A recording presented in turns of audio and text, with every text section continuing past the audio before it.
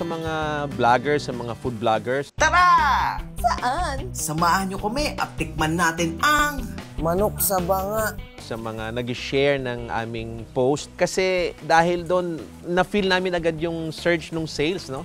After nung na-feature kami, people coming from different places pumupunta sa amin just to have a taste of the of our food.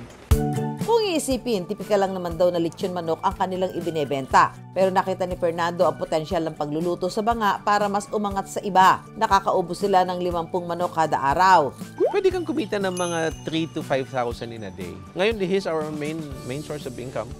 And uh, as a normal family, meron kaming amortization sa sasakyan, meron kaming electric bill, meron pang anak na pinag-aaral ng high school, yung aming pagkain, clothing, everything. Ito na talaga.